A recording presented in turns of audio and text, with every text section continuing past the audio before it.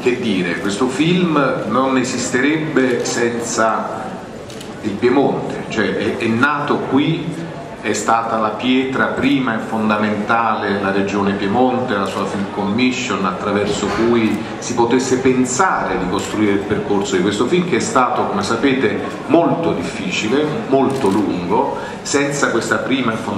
fondamentale pietra non sarebbe mai successo nulla ed è impressionante per me ricordare l'inizio, i primi contatti, quando ci siamo visti la prima volta avevamo una sceneggiatura che era ancora poco più di un trattamento, i primi sopralluoghi e sentire la tensione,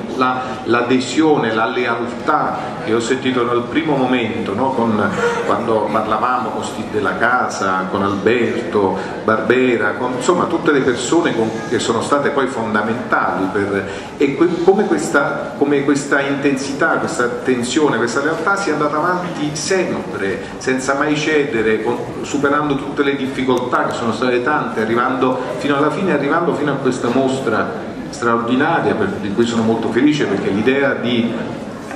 appunto proiettare, di, di come dire, esporre insomma, i, i, i fotogrammi è, è, è, molto forte, vedrete, molto bella, si ha veramente la sensazione che il film diventi eh,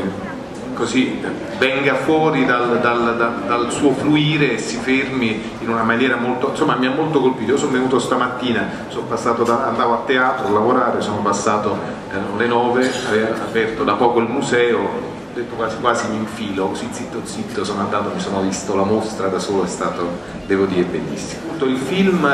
veramente ha, ha preso sostanza in un, in un processo, ecco, in cui Piemonte ha avuto una, un, e Torino ha avuto un'importanza veramente grandissima. E, e, e, ogni cosa importante ha a che fare con un processo, cioè non esistono eh, prodotti in sé, non esistono cose che possono essere confezionate in maniera, ehm, come dire, a,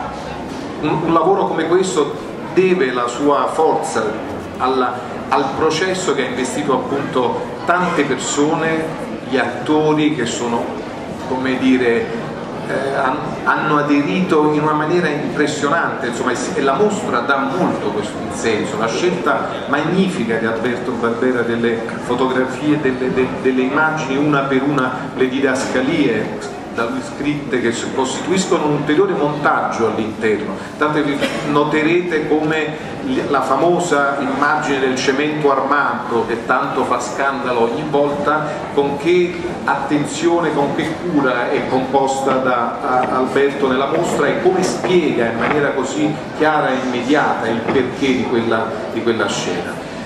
Ecco, quindi quello che mi fa piacere è che sostanzialmente la cosa più forte di, questo, di tutto questo è questo noi che campeggia, che tanto mi aveva attratto, noi credevamo, no? questo titolo di Anna Banti, cioè l'idea di, di un, processo collettivo, no? cioè una, eh, delle persone che ci hanno lavorato per anni e anni, c'è Paola Rota che con Raffaele appunto è stata eh, aiuto regista decisiva, fondamentale, la Campania e il Piemonte, no? Marzia Milanesi che non so dov'è, per dire l'ufficio stampa, insomma come dicono nella cosa, si è battuta come una leonessa, cioè l'idea militante ecco, che è stata alla base di questo film e che... Ehm, e che, a cui secondo me eh, si deve la, non solo il, il risultato, ma si deve poi la trasmissione al pubblico, cioè la, la, sorpresa che Alberto diceva, che noi tutti abbiamo avuto, perché io sinceramente voglio dire è un film in cui ho sempre creduto, però era difficile magari pensare che fosse proprio la risposta del pubblico a dare la grande adesione, no? si poteva pensare chissà magari venisse valutato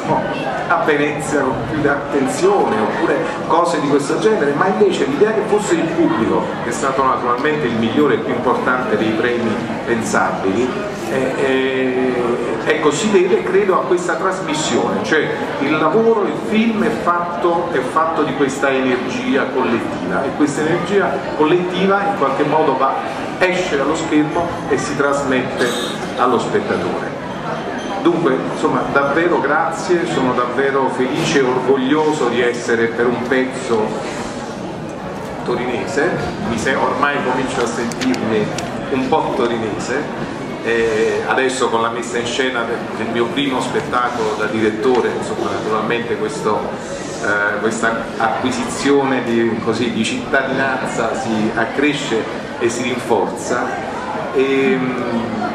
così quello che vorrei dire, insomma, in conclusione di tutto questo, quindi di, come di note molto felici,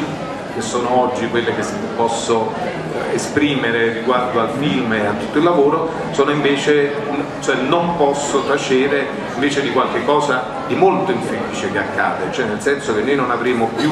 nessuno noi credevamo, non avremo più libri su, sull'argomento, non avremo più un museo del cinema, non avremo più niente. Cioè in, in Italia è in atto una strategica distruzione del sistema culturale, una vera e propria guerra.